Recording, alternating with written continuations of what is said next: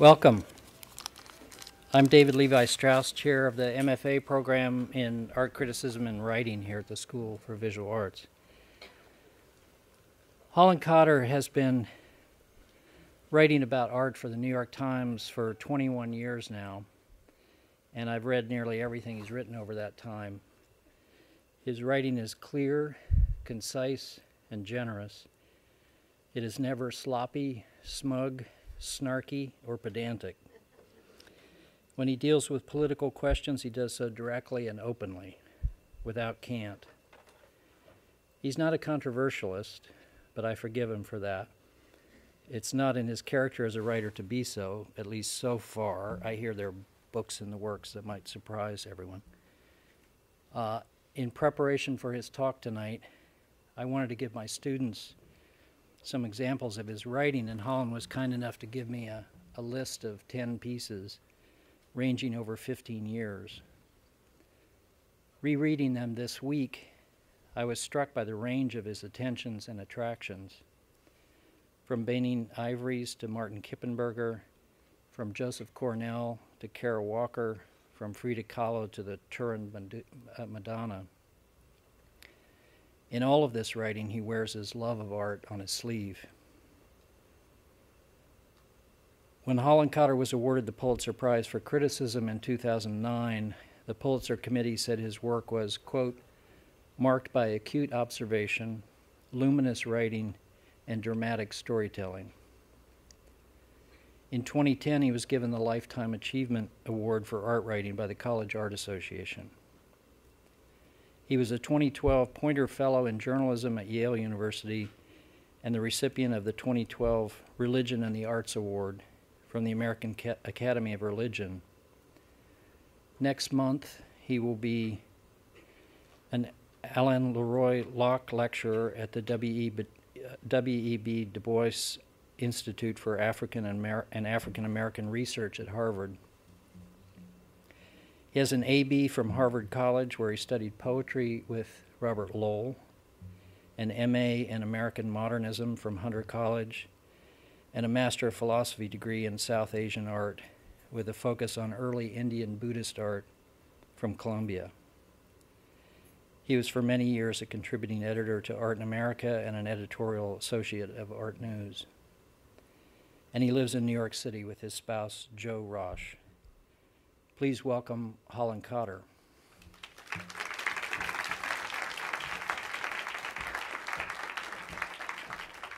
Hi, good evening, everybody, and thank you for coming here tonight. Um, uh, and I wanted, uh, before I start, I want to dedicate this um, talk and, and this evening to uh, Thomas McEvilley, who uh, an art critic who died recently, about 10 days ago, and was a remarkable person. And basically a role model for me and for many of my contemporaries. He led the way in um, covering non-Western art in a serious, uh, consistent way.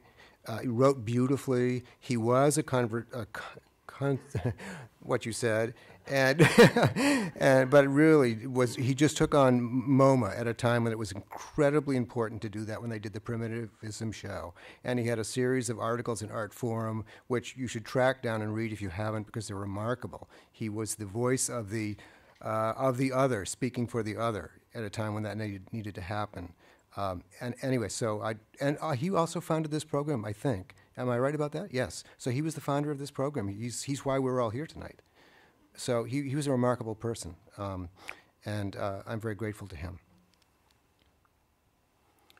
Uh, uh, let me first thank uh, David Libby Strauss, um, who is a wonderful writer and thinker, who I've been writing, uh, reading for years, for inviting me to speak tonight. And I thank you all for coming. Can you hear me okay? Okay. Um, because this is a lecture series sponsored by the MFA program in art criticism and writing, I want to address my remarks to other writers tonight, particularly, and specifically to students of, uh, of writing who may be here this evening. I thought it might be helpful if I spoke a bit about myself as a writer and about some of the things that have shaped my interests in this line of work over the past 40 years. I'd also like to mention uh, occasional difficulties I've encountered, uh, in particular, a relatively recent one when I returned from an assignment in Africa and found myself unable to turn that experience, which was a deep and wonderful experience, into words. The trip was, as I say, a work trip, uh, though not an assignment in the sense of being initiated by editors at the New York Times. I proposed it. I chose the four countries that I was going to visit three in West Africa Senegal, Mali, and Ivory Coast. Um, Ivory Coast is the, is the Times form of saying Cote d'Ivoire, so I'll continue saying Ivory Coast. That's the way we, we, we write it. And a fourth country was Ethiopia in, in East Africa. Uh, the trip had to be put off some months uh, because Ivory Coast um, had a civil war, and so it was uh, no one could go there. So we had to delay it for that reason. And when I got to Mali, uh, it was just before mm, the trouble that's started there, that is ongoing there, although it's slightly resol- resolved at the moment. Um, so the trip was in flux for, for a long while, but I chose all those, those four countries for, for different reasons. Um, there was, in fact, no news pretext for this trip, um, as there had been in China when I was there in 2008, and the Olympics were coming up and so forth. So everybody wanted to look at China at that time. I don't think anybody particularly wanted to look at Africa when, when I was there. I don't think people in particular want to look at Africa now, which is a big problem for me. Um, nor was there even a specific event as a peg, uh, an art event, um, though I was in Mali in time to see the pho- photography biennial in Bamako, which was an amazing event, uh, worth traveling for alone for that. My reasons for proposing the trip uh, was that I had been writing about African art for years, but I had never been below Morocco on the continent, and I felt I really needed on the ground experience. I, I, wanted to be there, is what I wanted. I wanted to put a, place, attach a place to all these amazing objects uh, I had been looking at for so many years. Um, what I didn't tell my editors was that my motives also had a very strong personal dimension, a sense of investment uh, that had to do with my own history, uh, which I'd like to talk a little bit about. I think our very early lives shape us, or shape at least some of us as writers, determining what our interests our interests will be, and what art is going to mean for us, and what art will end up being the most meaningful to us. Uh, probably everybody in this room remembers uh, how their interest in art began. I certainly remember how mine did. I come from Boston, Massachusetts. I grew up in a museum going family. Our main museum was the Museum of Fine Arts, which in the 1950s and 1960s was an almost encyclopedic museum. Uh, art museums were not like museums. Uh, art museums then were not like museums today. This was before blockbusters, before in-house cafes and all those amenities. Uh, museums were very they're very quiet places, uh, more like libraries than than than the Met is today. Um, there are very few visitors, lots of glass cases, lots of gray walls. Nothing ever seemed to change. Art was just frozen in place. On Saturdays in the winter, uh, in winters, beginning when I was around 10 years old, my parents would drop me off at the MFA and leave me there on Saturday afternoons when they went about their city business. I was basically in the protective custody of the guards, and they all knew me. And because I was a very self directed kid, they let me go wherever I wanted to go, and I wanted to go everywhere in that museum, and I did.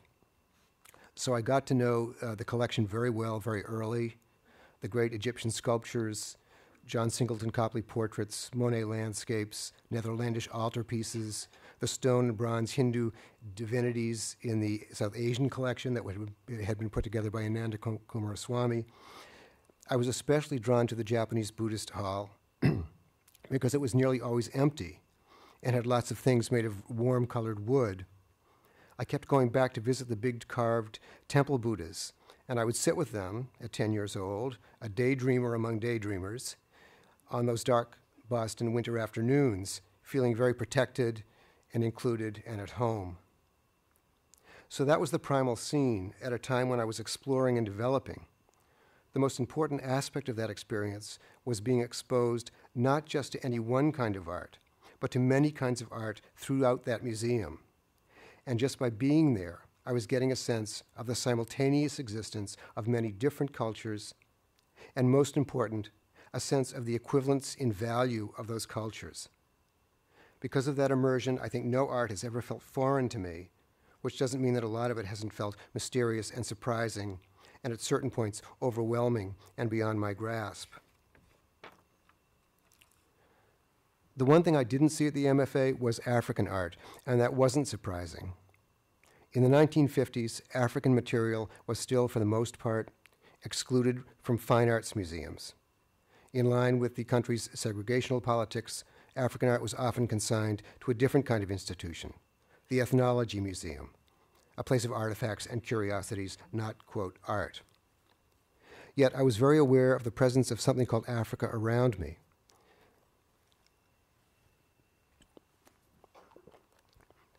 filtered through African America and the great African diaspora, it was ever present in my life. It was on the radio in the 1950s with Xavier Cugat's sambas and mambos, and Harry Belafonte, and the late 1950s calypso craze. Africa was on TV, on the evening news, in what had to be 1960. I remember seeing an interview with Patrice Lumumba, who had just become prime minister of the new post colonial Republic of the Congo. To me, at 13 years old and already tuned, on, tuned into language, his name was musical and intriguing. I'd never forgot it. And I was struck by his appearance. This serious man in a business suit wasn't the African I was familiar with from my grandparents' National Geographic magazines. He was an urbane modern statesman.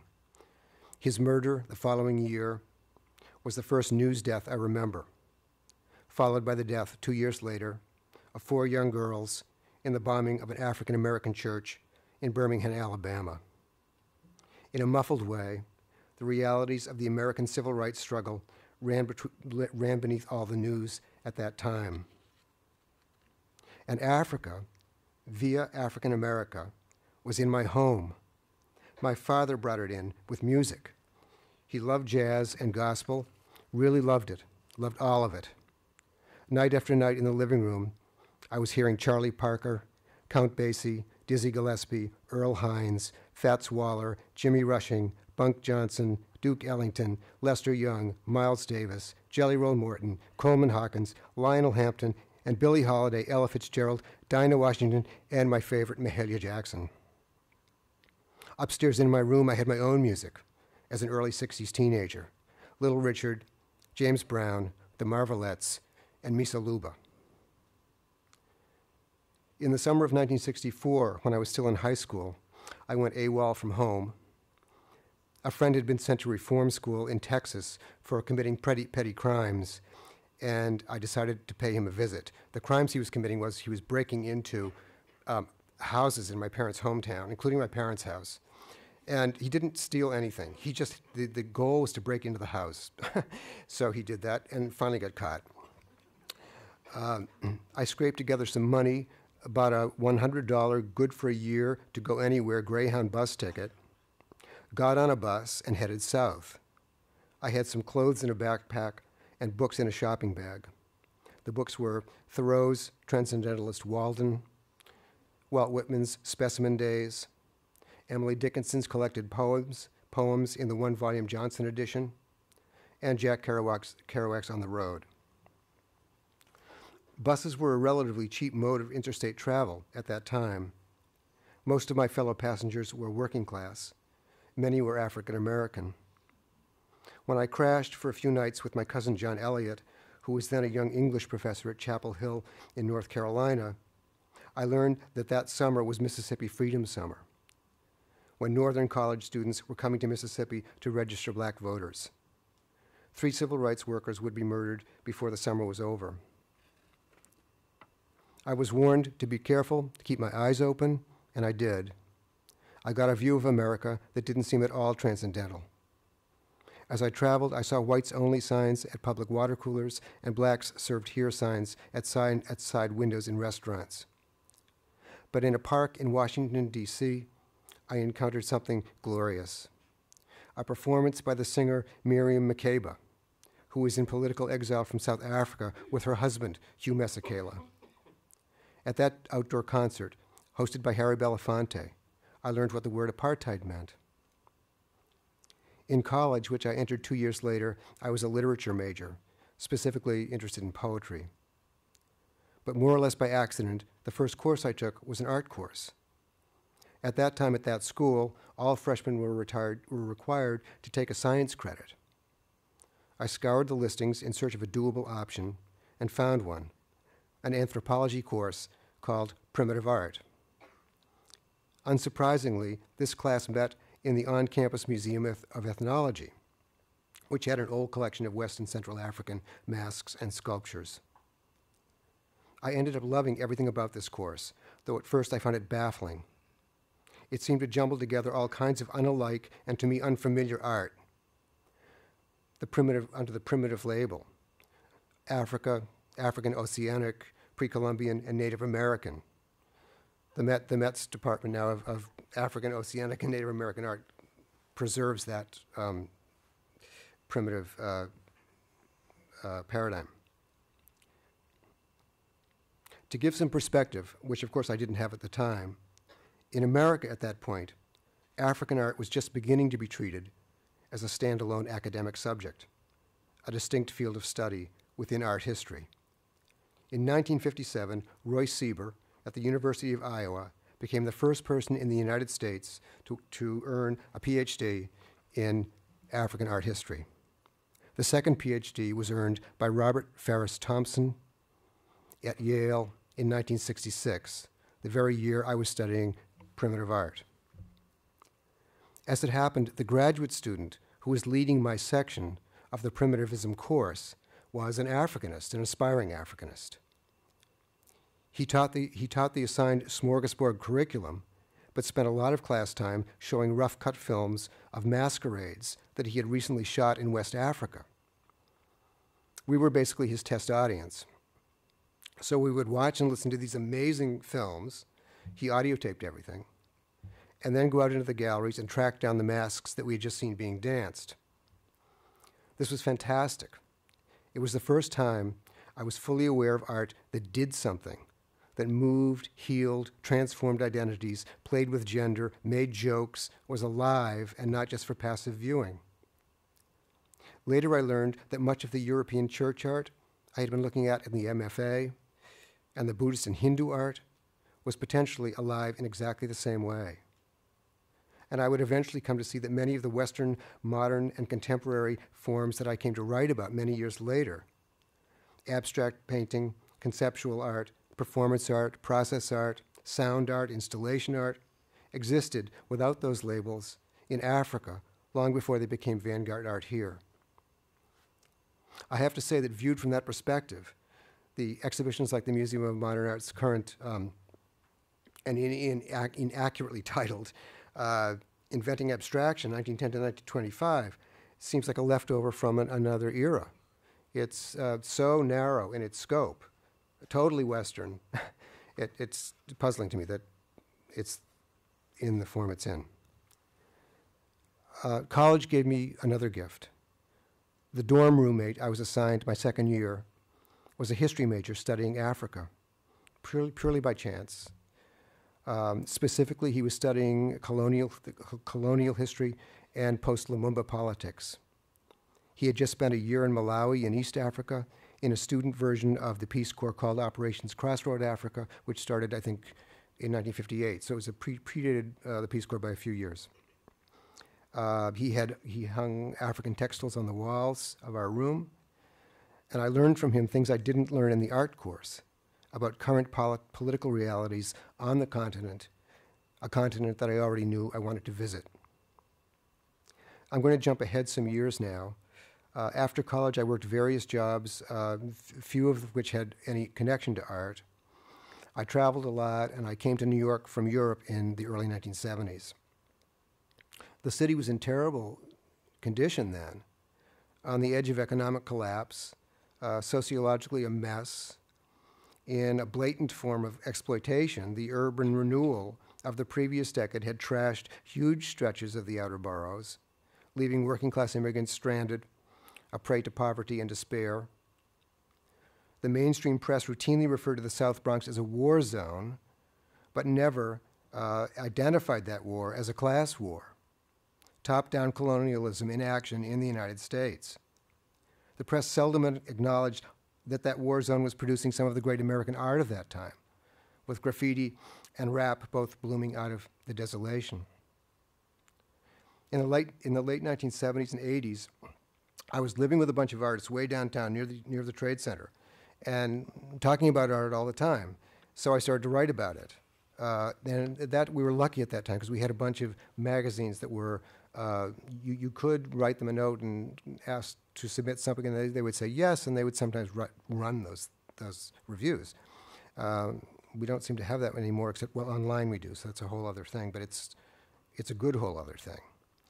Anyway, um, so I started to write reviews for New York magazines.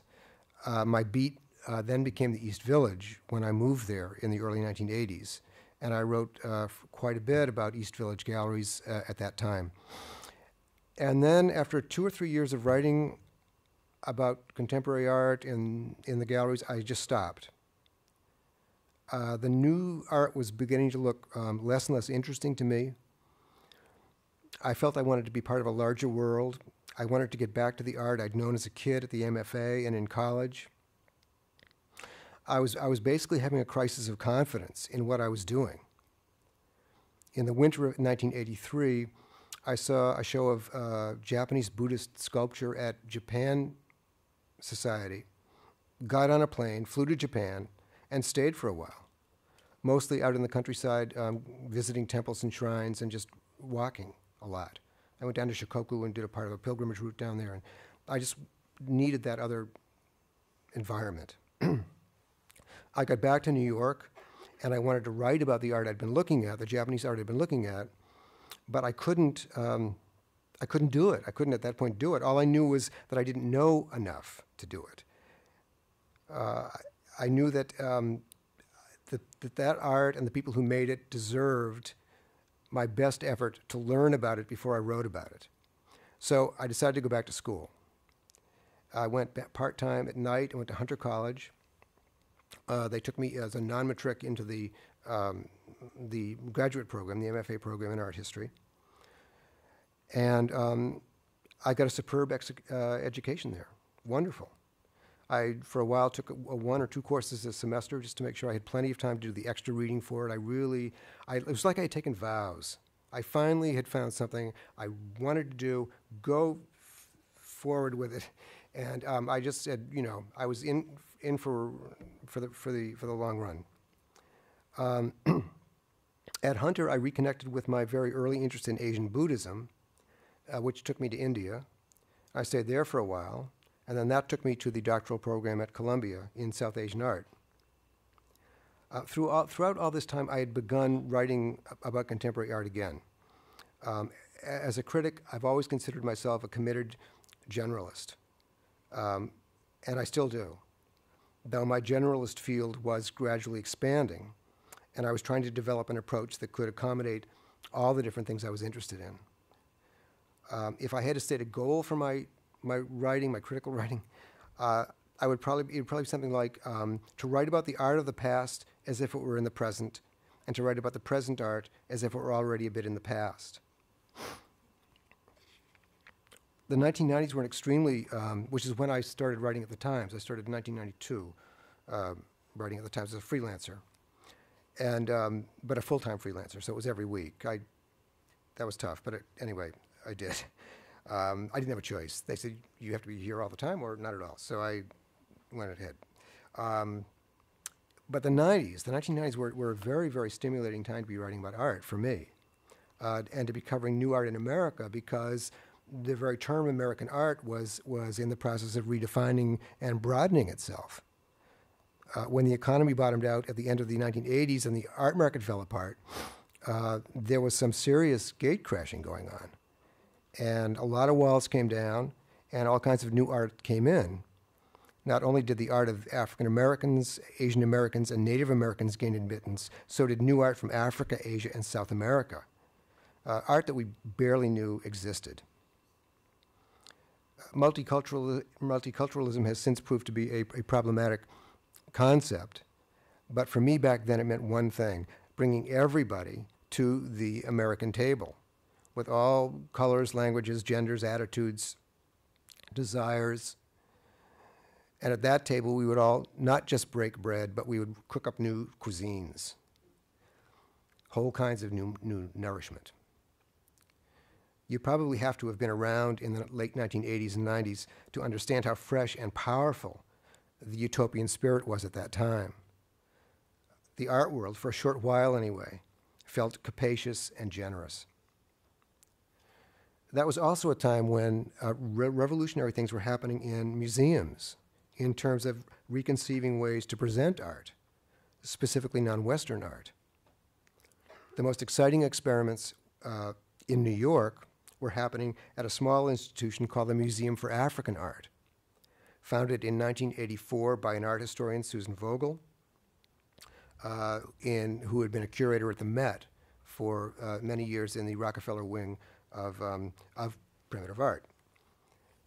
And then she broke free from that and, and started her own museum. uh, the Museum for African Art began in a rented Upper East Side townhouse. Uh, then in 1992 moved to a Soho space that had been designed by Maya Lin. Some of its shows were fairly straightforward collection shows, uh, loan shows. The museum itself was didn't have a collection. It deliberately narrowed all its um, potentially expensive per- peripheral stuff just so it could focus on these revolutionary presentations of art that we didn't know much about. So some of them were there were loan shows, and they were, as I say, pretty straightforward. Others were shows like nobody had ever seen before, at least in this part of the world.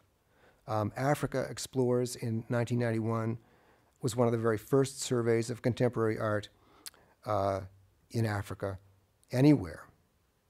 And its format and conceptual range from academic paintings to portrait photography to glass painting to Mercedes Benz shaped coffins to genius riffs on traditional forms was absolutely mind boggling.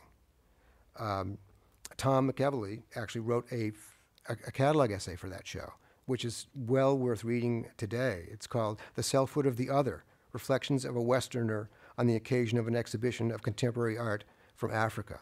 A wonderful essay, and very, very early on in this, in, in th- this kind of study.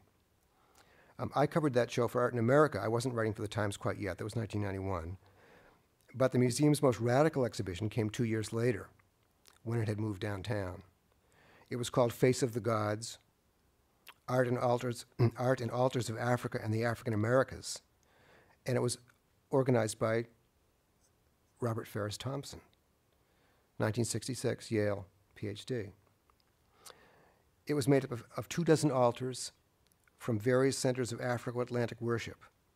Some were historic objects, they were transportable things, museum pieces basically, that were brought in and, and sent back to their, their museums when, when the show was over. Others were commissioned uh, by the museum from ritual practitioners who created and consecrated the altars. All the altars were consecrated. The, the ritual practitioners would not create the altars in the museum unless they were allowed to consecrate them. To create the altar without consecration was a, a, a silly thing to do, they felt. So that was the part, part of the deal. So the altars were um, created and consecrated by ritual practitioners in the museum, specifically for the show. And when the show was over, the practitioners uh, dismantled the altars, which involved also rituals. Um, the third category of altar was um, consisted of recreations of untransportable altars, such as the sand altars on on uh, Copacabana Beach in Rio, which are built every year, and they're just candles in the sand, basically, and they're washed away by the tide. So uh, people took photographs of those, sent them to the museum. The museum's um, design team made dioramas re- recreating the, the look of these of these uh, uh, ephemeral altars. Sort of natural history museum type dioramas. So uh, the fine arts versus ethnological divide that had basically defined museums in my youth were, were brought together here in this, in this show, um, which in, in the still very basically you know, ultra conservative world of, of museums, um, shows like this raise all kinds of aesthetic and eth- ethical issues about authenticity, about art and sacredness, about the possibility of religious worship within a museum context. I've been told that the Met, the guards at the Met at the cloisters are given training on how to intervene in the event that somebody tries to use the cloisters as a, as a, a, a site of worship. That's not permitted. Um, did the show work? Was it a success? For me, absolutely. It completely changed my already changing idea of what a museum could be and what a museum could do. The proof of its effectiveness was in the audience. People came who had never been to a museum before, and they came because they had heard about live altars. Devotees of Cuban Santeria and Brazilian candomblé left coins and fruits at the altars.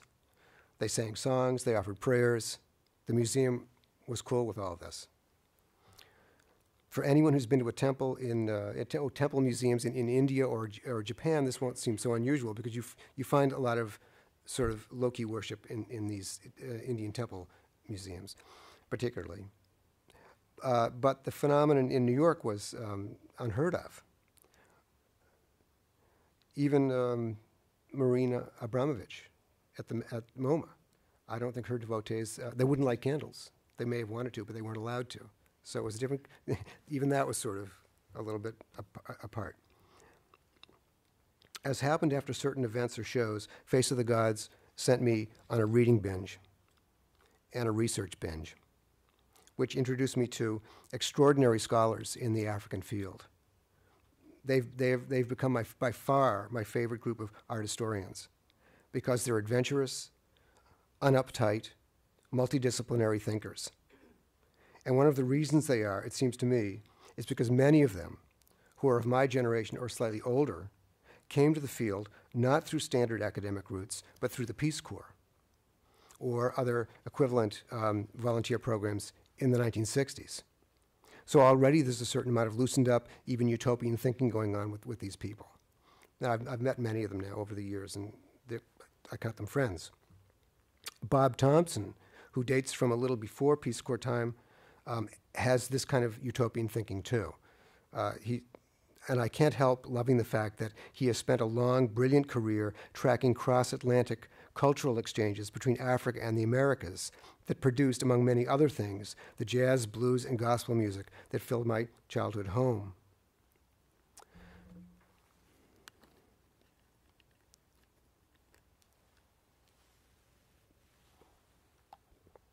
I heard similar but very different music from almost the moment I landed in Bamako, Mali in late 2011. On my first night there, I went to a music club and heard a female vocalist backed by sensational, a, a sensational drum orchestra who sang what sounded to me like a torchy, bluesy love song. Several of them in a row, strenuous songs. I took them to be, to be pop music. I was wrong. What she was singing, I learned, were classic Wolof praise songs, of a kind performed by griots, West Africa's poet historians, to celebrate heroic deeds and people. My misreading on that first night turned out to be an accurate preview of my experience of Africa overall. No assumptions I came with, and I came with many, were accurate. I like to think of myself as someone, as a critic, who resists value laden binary thinking high versus low, traditional versus contemporary, genuine versus fake. But I find myself having to work through all of these values, exactly the values that the Museum for African Art was asking us to consider time and again while I was in Africa and afterward. I heard another drum orchestra in Dogon country, far to the north of Bamako accompanying a village mas- masquerade. I instantly recognized the masquerade when I saw it. It was one that I had seen in those films back in college in my course in primitive art. And there I was, there it was live, kicking up dust right in front of me all these years later. But it was being performed as a tourist attraction. I hadn't considered that possibility before. I come from a part of the world, which is the same part of the world you come from, that has a mania for something called authenticity, for, quote, the real thing, as a benchmark for value in art. And we gauge this realness by a range of fixed criteria age, rarity, history of use, motives for creation, etc. Did the Dogon Masquerade meet those qualifications? A yes or no answer depended on how much information you had or were willing to go after.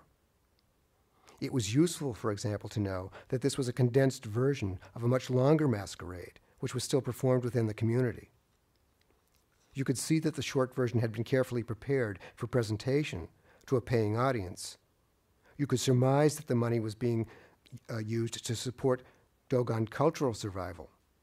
Anyone could see that the performers were fabulous.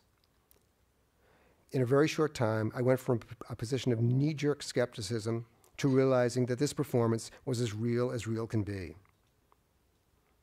In a potter's village in northern Ivory Coast, artists were producing traditional Baule ceramics, but they were also individually creating variations on those forms, freestyle designs, some inspired by images pulled from the internet.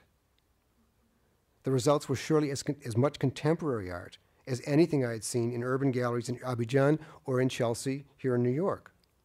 Though you're not likely to see these, these ceramics in Chelsea or in most museum gift shops in the United States. As long as I can remember, I've wanted to visit the great mosque at Djenné in Mali. It was at the top of my list of, quote, historical things that I went to Africa to see, along with the churches at Lalibela in Ethiopia.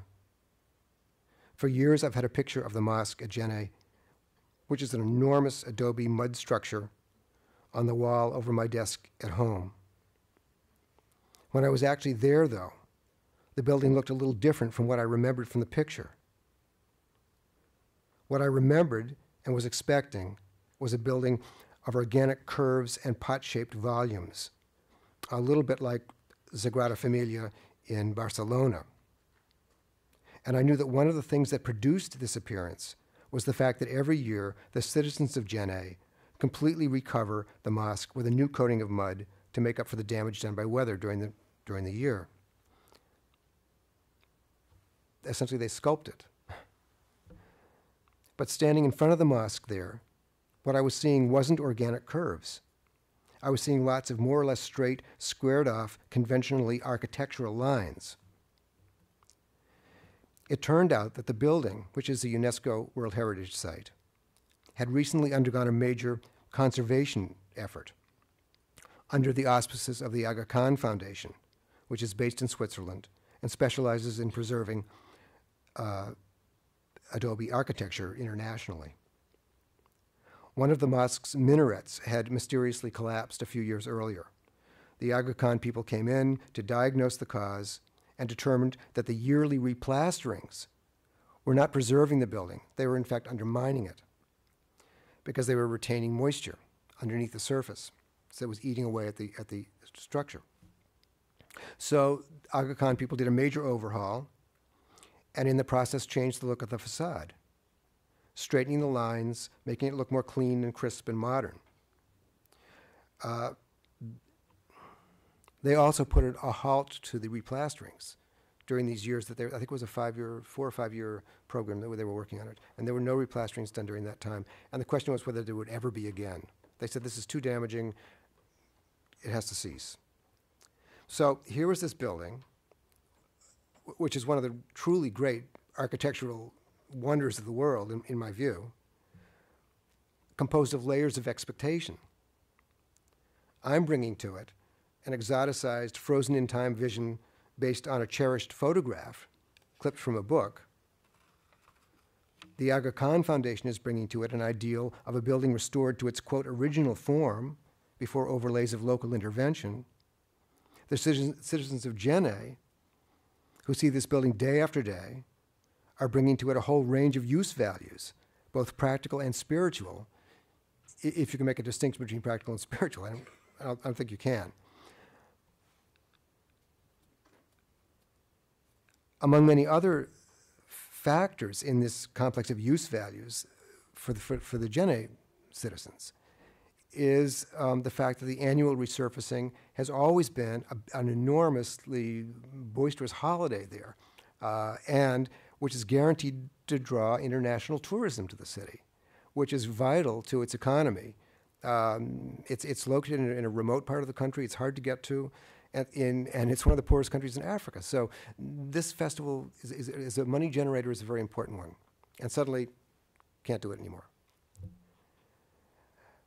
So again, the experience of being in Africa was throwing into the air the neat package of cultural and aesthetic givens that I operated on as a critic. A critic being someone who, through some mysterious combination of knowledge and taste, was expected to dispense thumbs up, thumb down judgments on art. In fact, I, at the time, I had no idea how much of a stake I had in these givens. I didn't realize it until I was back in New York trying to write about this trip. And I found myself again in a crisis of confidence, an information crisis of exactly the kind that had prompted me to go back to school. I didn't know enough. I just, I should say that even after all these years of writing, it's what, 40 years, I guess, I still find writing a difficult thing to do. Uh, fraught with a certain amount of anxiety. I know I'm not alone in this. Nearly every time out, no matter what the subject, I experience some form of blank canvas syndrome. Where to begin? How to begin? How do you get the first something down? And will that be the right something? There's this kind of superstition that if, that if you get the right something down, everything else will flow from it easily. Uh, if you don't, it's going to be difficult. And I go through this, you know, every week. Um, so it's this very exposed moment, you know, when you're about to begin. It's this exposed moment because you, you also want to, you know, you're going to be, you're talking to your readers now. People are going to read you. And you're, you're asking them, you're inviting them to spend some time with you. And th- that's, that's a demand. So uh, you want to make sure you, you're, you're giving them something in return for their attention. Uh, so there's always this difficulty. but what was freezing me up when I came back from Africa and preventing me from from writing was um, also built into the critical conventions I was working with. Um, the standard format for critical writing in journalism is pretty established, pretty fixed. I'm thinking of the exhibition review, but although essays and, and, and re- reporting can also take the same, more or less the same form. Um, but you, you establish a setup, a lead, your first graph, in which you follow, um, which you signal your point of view and your subject, your theme. Those are both there up at the top somewhere. Uh, then you uh, follow this with a kind of walk-through description of an exhibition, if you're doing an exhibition review. You end up toward the end, uh, you give a little area at the end there where you can maybe give some exceptions to the opinion, reasons why the opinion you have um, isn't entirely up or down, that there are these little, you know, fine points that you want to mention, and then you conclude, over and out. Uh, this is the standard defining model of art criticism uh, that, that I grew up with. It's the consensual version, the one most of us come to depend on, writers I'm saying, come to depend on and stick with, for better or for worse. At present, I think it's for worse. It's why we see week after week, at least here in New York, the same handful of critics saying identical things in more or less the same way about the same few shows. Even young critics seem to want to follow this model. It's like listening to one review in stereo. Uh, I think the internet can be a huge help here, but I, in terms of uh, that's a whole other subject, but it's a, it's a big subject what, what the internet can do for us in terms of um, varying and loosening up our, our, our, our forms. Anyway, the model was giving me a lot of trouble because it didn't seem to allow for critical confusion and self doubt.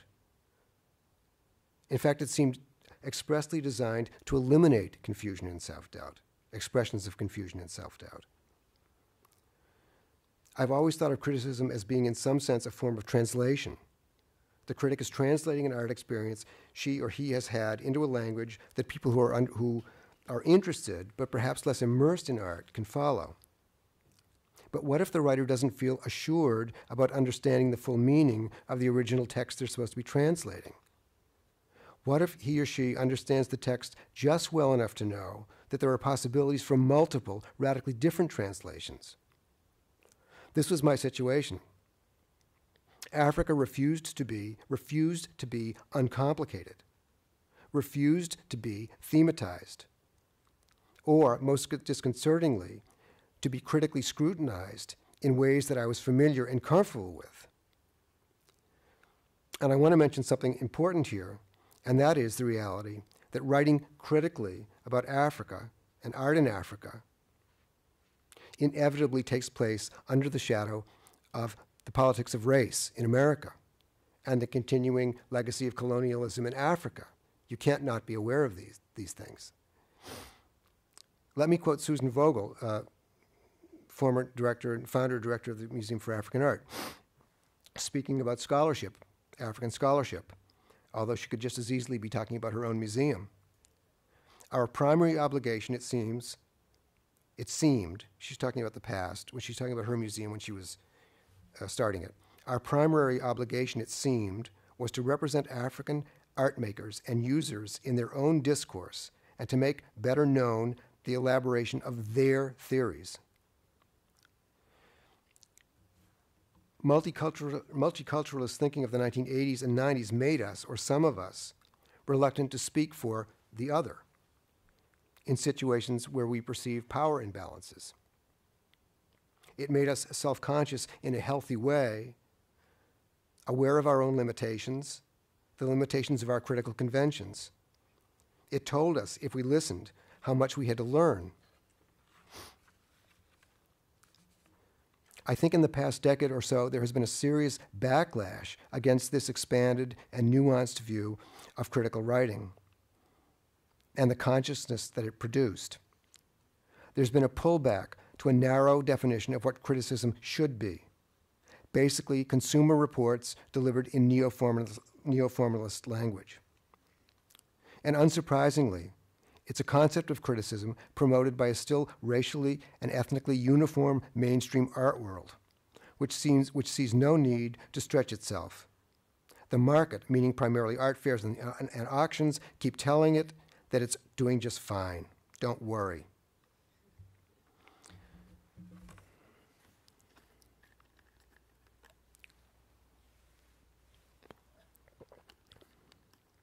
But the world, the real world, is large. It's a big place. Travel in any direction, and you see this. We need different models to meet that world. And I do think that the models to emulate are there. Tom McEvilley's example being one. I think that new forms of critical writing are possible. Forms that combine research, evaluative thinking, autobiography, and poetry. Why not poetry? When it comes down to it, language is the critic's primary medium, the medium for translating experience, which is the critic's primary and most valuable role. The creation of those new forms requires work reading, looking, asking questions, making mistakes, getting embarrassed, getting blocked. We can't get bogged down in endless laments about how the market has usurped the critic's role. The market is, is at present immovable. You can write about that fact, which is fine, but you might also usefully turn your attention in another direction. Focus on where the market isn't looking, which is in a lot of places. Obviously, I'm speaking to writers here, uh, about this when I mention this, and writers in the MFA program for art criticism and writing in particular. Uh, I'm reluctant to give advice because I'm terrible at taking it. But let me offer three short suggestions for writers, um, fellow writers who are work, working their way into this uh, profession. First, in your work, always begin with questions and doubts but proceed with passion. I'm encouraging you to be obsessed with art and history and language and to bring an obsessive passion to them. It's passion that turns an art experience into a reading experience. And before anything else, we owe our readers a reading experience. Everything follows from that. Second, I encourage you to develop a conflicted relationship with art. All art. To be suspicious of its motives, skeptical of its reputation for truth telling and transcendence. Over the centuries, many beautiful things have been made for very terrible reasons. I walk, a walk through the Met can be a delight, but it is also a walk through blighted histories. My third and last suggestion may seem to contradict the second one, but it is this. As you do your work, make generosity your mantra. Obviously, this doesn't mean embracing all art and ideas unconditionally. It does mean greeting them and the world at large with a readiness to embrace to be, among other things, a global citizen. I deeply believe in this citizenship. I guess I always have believed in it.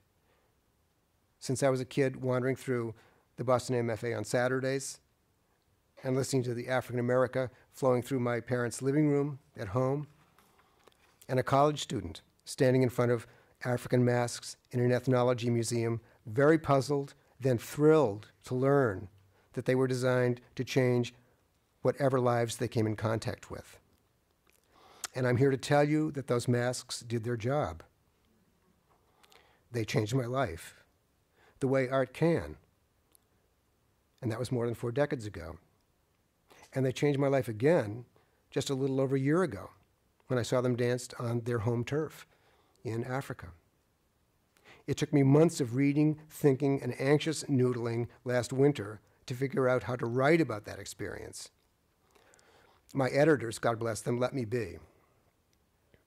And all I could come up with at the end was a short, impressionistic account of that trip. Today, after lots more homework, I could probably write a better one. I bet young writers in this room this evening could write a better one. I hope they do. I can't wait to read you. Thank you.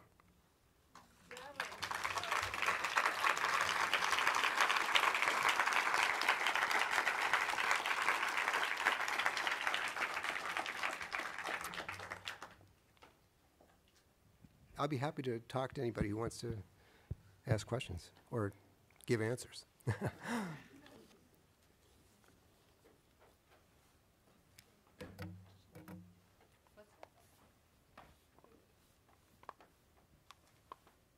I, I was curious because when you mentioned Bob Thompson, the Bob Thompson I thought of was a friend of mine who died a long time ago. Yeah. I didn't realize, of course, you were speaking about a writer. Yeah. Oh, sorry. I didn't realize when you mentioned Bob Thompson that you were speaking about the writer. Yeah. And Bob Thompson, the painter, who's died since a long time, was a friend of mine, and at the time, probably one of not that many African American painters. A wonderful artist, and I thought about it in connection with what you were saying, because he was painting influenced by all different things, including a very important trip to, to Italy for him, where he had never been. And so he was, co- he was also a jazz musician, and he combined images of Ornette Coleman and uh, Tuscan landscape and religious medieval ideas and, and his, own, his own mind. And he was an incredible example, in a way, of what you were speaking about, even though he's not right now. It was just wonderful to hear you talk about all those things. Well, thanks Wonderful. a lot. You know, I, I know the Bob Thompson you're talking about too, and he has a, a fantastic painting right now in the show, in a, in a great show at the Whitney Museum called Blues for Smoke. And that, I think that maybe the painting you're talking about, Ornette Coleman is in that painting. It's like a Garden of Eden with all his jazz uh, heroes. You know, it's so beautiful. And it's right, if you go in off the elevator and you look to the left, that's, it's right facing you. It's a, it's a great thing. Yeah. I wanted to ask you, excuse me, um, in our many trips to Africa, it's been our experience that in the South, in Zimbabwe, in South Africa, there's wonderful museums, there's a whole art culture, there's galleries in the streets in, in the main areas of larger towns. but as we got into West Africa, Senegal, Togo, Benin, Ghana, we found almost no art, and certainly no no contemporary art. I mean, the main museum in Accra, the capital of Ghana, you know, in five minutes you can see everything, and there's not much that's of any interest. So, do you find that it's very geographic in terms of the quality of the art in different parts of Africa? Or if, you, if it is, why is that? I don't think the uh, the quality of the art. Um, I, I didn't find that, but I did find the quality of museums varied um, incredibly. The um, Bamako happens to have a, uh, a a good national museum because it has a very strong leader in in Samuel Sidibe. He's been there a long time. He's well networked into the government and um, has put together an ex- extremely interesting museum uh, with government support um, Ivory Coast Museum, at one time I'm told, was uh, in Abidjan was a, excellent, but when I was there, it was totally empty. Um, it had been looted during the. Uh, I was told again, it had been looted during the Civil War, and what had not been taken away was in storage. So it's very hard to judge what kind of collection they, they have. But there was nothing to see in any in any event. Um, and Senegal, um, uh, I would have surprised actually that Dakar wasn't more together on, on its museum on its museums, but it wasn't. Um, I had to search hard to find the contemporary um, art because there aren't galleries to go to, or very few. So you have to basically network in and um, get to know a few artists, and they will take you to see other artists. And there are a few contemporary um, uh, alternative spaces. There's an excellent one in Dakar, actually, uh, called um, uh, Raw Material and it's very very good. It's an international center. It's just started a few years ago, and the uh, the person who runs it is is very skilled at. Uh, she well, she went to a business school, so she knows what she's doing with finances. And um, Ethiopia, um, there's also an alternative space there with a very smart uh, person running it. But hard, it's hard to do. There's, there's no money. There's very little money. It's not coming from the government. And when it does come from the government, you're inviting meddling. So people don't want that uh, it's it's a tough situation. It's much more together. I haven't been to South Africa, but I, I know from everything I know about South Africa, it's an entirely different ballgame. Yeah, yeah. But the art is is this has nothing to do with the art though. It just has to do with the art institutions because there's some wonderful art being made in in the in West Africa now. It's just hard to find. That's the main thing. Um, I'm curious to know how your perceptions of, I'm curious to know how your perceptions of El Anatsui's work, now on display in the Brooklyn Museum of Art, has perhaps changed as a consequence of your trip to Africa and the thinking you've done as a consequence of it. Well- Would you talk to us about your perceptions of his work? Yes. Uh, so we're talking about El, um, El, Ellen Atsui, who has is a um, an African uh, artist born in um, Ghana and now living in Nigeria, who has a show now at the Brooklyn Museum, a retrospective at the Brooklyn Museum, and also has a very large installation down downtown Chelsea on the side of a building. And um, he's in his 60s now, and this is a big moment for him. Um, he's the show is, I think, absolutely smashing. Uh, I first saw his work back in the, the early 1990s when um, a gallery, a gallery called Skoto Gallery uh, opened in, on Prince Street. It was a tiny storefront gallery, and uh, Skoto at that point showed El Anatsui. Before his metal pieces were being made, these, I, if you're not familiar with these pieces, they're, they're huge uh, textile-looking um, hangings, and they're made from little tiny bits of metal, and all those bits of metal are um, recycled bottle caps from liquor bottles that he collects um, far and wide in, in Nigeria. And has, he has a workshop there. He has a, a staff that takes these uh, liquor bottles tops and uh, twists them and pounds them and makes them into tiny shapes, and then uh, stitches them together with copper wire and into blocks about this maybe a foot by a foot. Then El Anatsui comes and chooses the blocks and arranges those into the larger hangings. And the hangings can be enormous. They can be like the size of this screen here or larger. Um, they, they're really just gorgeous. And the colors are brilliant and so forth. Um, and I was very, one thing I was very aware of when I was in uh, Africa was was this this whole phenomenon of phenomenon of recycling, and so I wanted to see some of this firsthand. So I went to the um, to the uh, to the ironworkers market in in in in Bamako, where you see extraordinary things happening daily with people taking scrap metal and turning them into um, art objects or tools, you know, into plows and kitchen utensils and bowls and so forth. And it's happening nonstop all the time. It's, it's a remarkable thing to, to, to watch. So he's coming out of that, out of that. Um, he was also formerly a painter, so he's also coming out of a painterly place. He went to art school in, in Ghana, uh, was traditional academic education. So he's putting all this stuff together in these, in these beautiful things. And originally, as I say, I saw him, he was working in wood, he was carving wood, little tiny wood pieces, but the, the continuous thing was those wood pieces were made in, in segments. They were meant to be, you, whoever got that wood piece, if you bought it, you could put it whatever formation you wanted. That was the idea. If he wasn't around, you could make, it, make your own thing out of it. So he's kept that, that idea of, of, of, of flexibility as a part of his work. Uh, I just love it. I think it's really beautiful. Yeah. Um, but there, there are a lot of great artists in Africa, though. He's not the only one. I, I hasten to say that because too often the market lands on one artist, and that's the artist you know about. Ai Weiwei. Everybody knows Ai Weiwei, right? But there's, believe me when I tell you, there are many, many great artists working in China right now, as there are in Africa. So we've, we've got to keep, um, you know, but there are no galleries in New York who, who will show them. Skoto will show some because he's still in business. India is the same thing. You know, we, they're wonderful artists in India, but we've, we've lost our Indian galleries. We've got, we've got one left who shows regularly shows contemporary Indian art, and he's well on East 16th Street on the other side of the park, and he's hard to find, and blah blah. blah. And now, he, you know, anyway. So, but there's there's a ton to see, tons. But it turns out you have to go there now to see it. That's that's the problem, or you don't see it.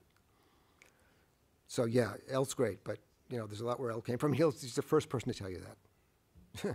you know, he's a great guy. I had a, a question. Yes. I had a question about um, your your trip to Mali and your interest in um, Dogon masks. Yeah. It- um, I I find it um, kind of strange when when we visit museums in New York. We will we see masks, we see African masks in, in the museum, but we don't have any connection to the the performance that takes place with these masks. And I was just really curious about when, when you went to Mali and you saw these Dogon mask performances. Um, can, can you talk a little bit about that? Uh, I find it it's, it's, it's very strange to me that we see these things so utterly divorced from their, their meaning, what, what, they're, what they're actually used for. It would almost be like um, you know, exhibiting props from a Shakespearean play in another culture. They, they don't mean anything. I agree. Yeah, yeah. That's, yeah. It was a real. It was wonderful to be there to see that because that was my experience of those masks too. Apart from films, um, that was the only time I'd seen them actually move. And um, uh, in in in Dogon country, there in Bandiagara area, uh, the deal is you you call ahead and you commission a performance and to, you call ahead to the village and you've commissioned a performance and you say what time you'll be there and they will perform perform. It's about a 45 minute performance. It's as, a, as i mentioned a distillation of a much much longer um, uh, uh, performance. But it, it's it's for real. It's it's it's the real mccoy. It's the real thing you know and you're seeing these amazing things moving um, they've they've selected maybe the most out of out of the huge range of masks that they they make types. Uh, they they select maybe I think mm, something like twenty to perform for uh, in this kind of commissioned performance. So you're not seeing the entire range of masks, but you're seeing them moving and you're seeing them interacting because they all represent mythological characters, they're animals, or so forth. So they don't none of them stands alone. They're, they all have roles that they play in, in relationship to each other. It's important to know. You, you can't know that from a museum. Um, but you can know that from, from seeing them in, in this kind of situation. Um, I think it was what the Museum for African Art was trying to convey when it was doing its shows. Um, it did other shows where it let people come in and, and handle material. Um, it just it, it just tried to completely um, uh, destabilize your your your um, preconceptions of what of a mask as a, as, as, as a museum object. They, try, they, they would put it up in the way up there, they light it funny ways, they would let you touch it, they would, you know, have films going on around it, anything to kind of get you out of this, this, sta- this stationary mode.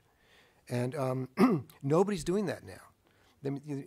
As, as with so many things in the 1990s, and 1980s and 90s, we seem to be in a backsliding position on this. So museums are no longer doing adventurous things like this. Uh, I, I don't understand it. And the, unfortunately, the Museum for African Art is now closed, effectively. Um, it exists in a, in, a, in, a, in a loft space in Queens. It has a building up on, on the top of Fifth Avenue and 109th Street, but it can't get it together economically to open its doors. And this has been now for three, four years. It has a staff. it, it, it organizes shows, but those shows are all traveling elsewhere. Um, so at someday, hopefully, once, once it gets its act together, because Susan left years ago, um, it will open again and we'll have, we'll have a great museum here in the city, an adventurous museum here in the city. But it was the only one doing that. It, it, it, it is, it's because of it that the Met even shows films in its African galleries now occasionally. We'll show a video. It was because of that example. But uh, yeah, you, you just gotta, you gotta go looking for those films. That's the only way to, to see those things move. Unfortunately. And it makes a, all the difference, because that's what they're about.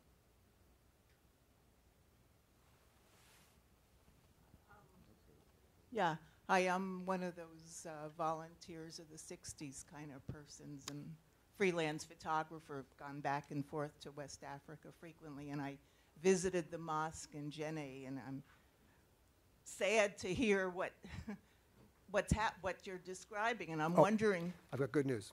is, yeah, I was just, that's my question, is Yeah. there any internal discussion and uh, non-acceptance of the uh, Aga Khan Foundation's um, Yeah, Ma- Strictures. major internal discussion.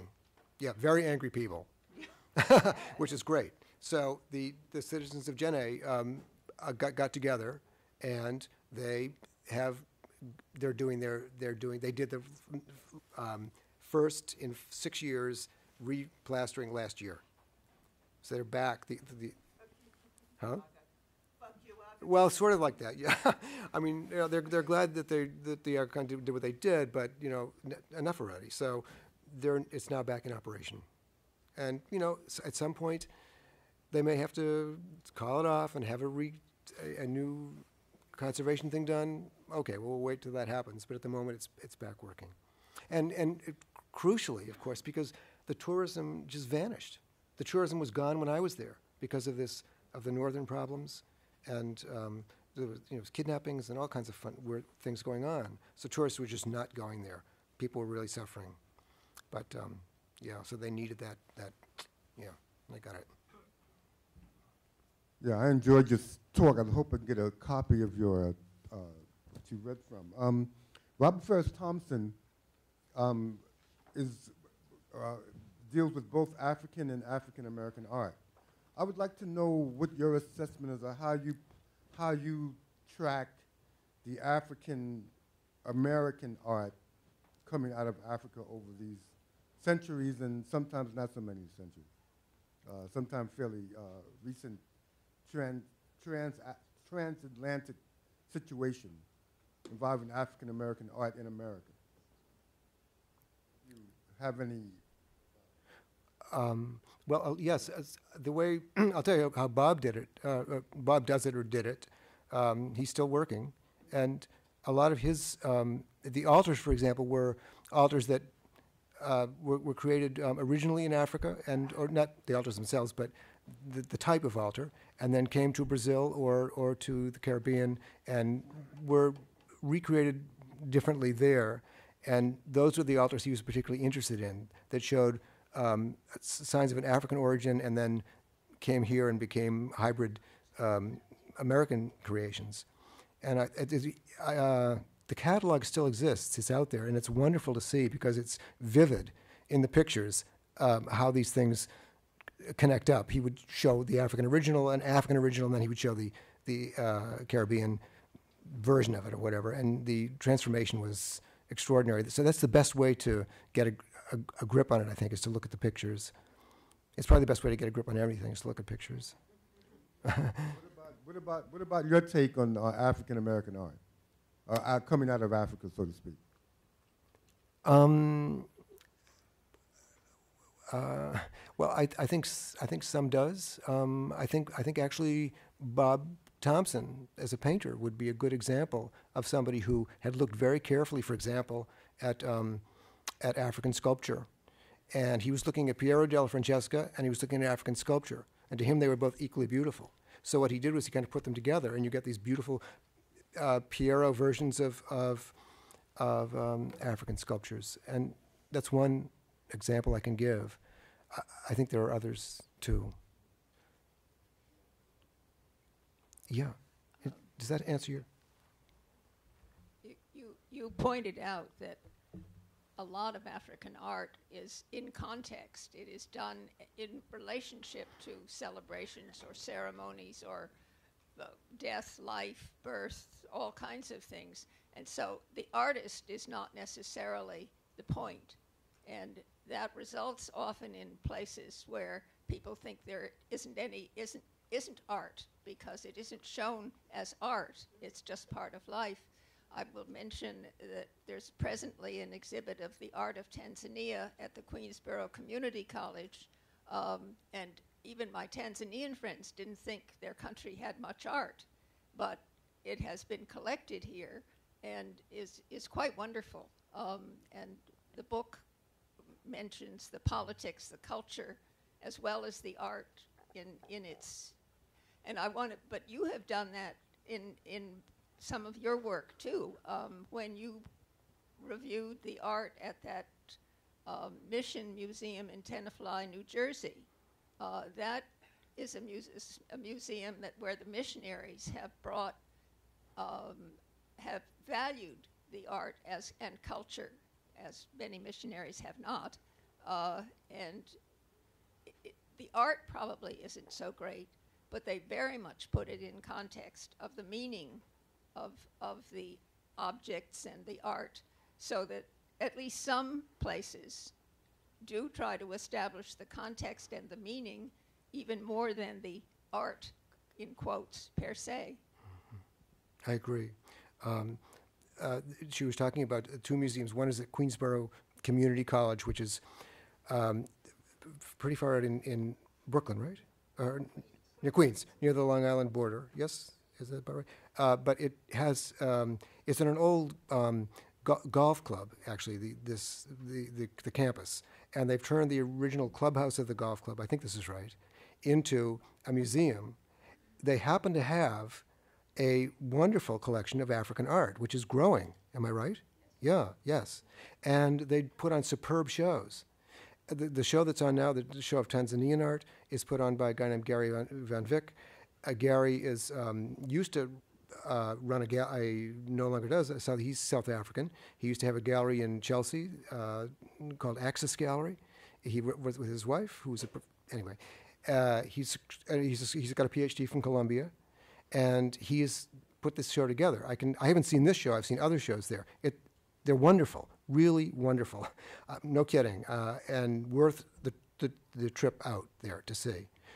And the SMA Fathers over in Tenafly, New Jersey, also have oh, their their monasteries. There, it's called a monastery, I think, and a church and a museum. And that museum is specifically built to house the collections that the SMA Fathers uh, put together over the years in Africa. Many of the pieces, or some of the pieces in those shows, are commissions from the uh, MS, SM, SMA Fathers uh, of uh, woodcarvers, uh, Yo- Yoruba woodcarvers, and they've kept those. So that was also a thrill to visit, I find. I've been there several times and, and like it a lot.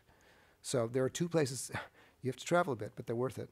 They're, they're, they're, really worth it. And they're like no museum you'll go to. That's another good thing. They're, you know, they're really something. Yeah, love it. Yeah. Thanks. Hi, I'd like to thank you for bringing your voice and sensibility here. I'm really enjoying it. And your story uh, made me think of something. It's kind of a reckless, half baked sort of question, if it's a question yet. But um, when you were talking about your experience with museums, and one of the experiences we all have here in the United States or in Europe is art is kind of held captive in these boxes in museums, in galleries. I mean, the museum almost goes back to places like Versailles, where the rich, or the well, you know, took all this art and collected it. And so it's a really powerful kind of um, magnifying glass. It really says, look at this.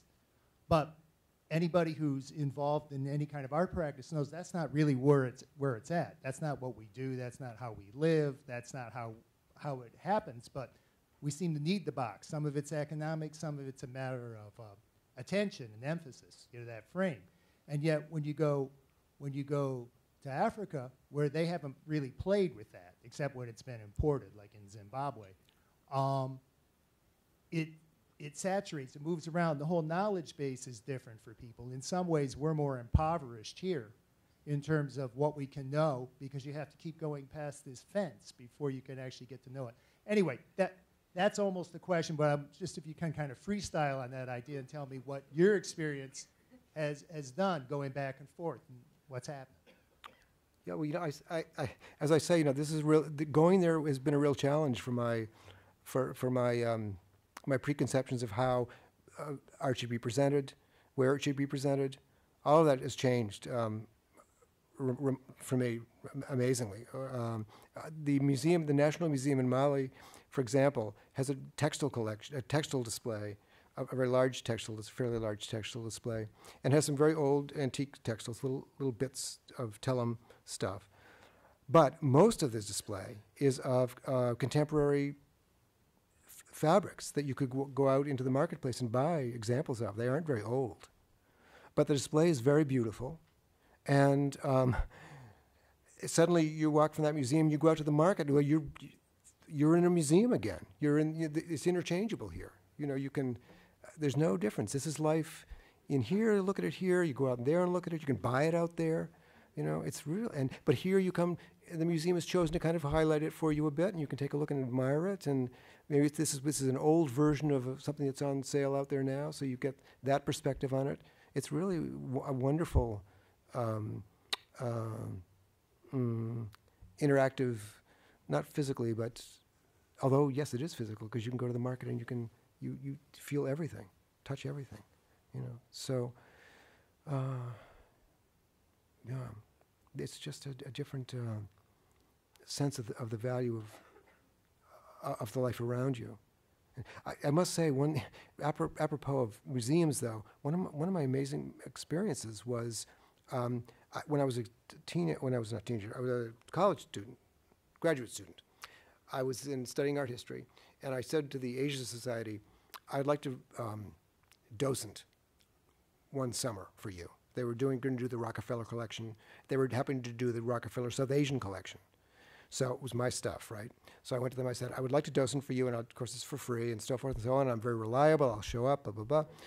And I said, there's only one catch I have to ask of you. I want to help install the show. So they agreed. all I wanted to do, all I wanted to do was one thing. I wanted to pick up those objects. I wanted to feel the weight of those objects. I wanted to feel what a chola bronze felt like as opposed to a stone, you know, carving. And so they let me move these. All I would do, one, I, was, they were all in one big room. I moved from one to here, one there, and I got to feel the weight of those things. And that was a remarkable experience for me. It suddenly, it was like uh, the difference between seeing somebody across the room and going, and giving them a hug, you know? You, you just don't, you don't forget it. So there's some kind of magic thing going on there. I don't know quite what it is, but it's, it's there. I don't know if that's a help, but yeah. Yeah. Holland, I'd like to keep you here from now on, and I think I'm going to try to figure out how to do, how to make that happen. But I think now we have to leave. Okay. Thank you. Yeah, thank you. Okay.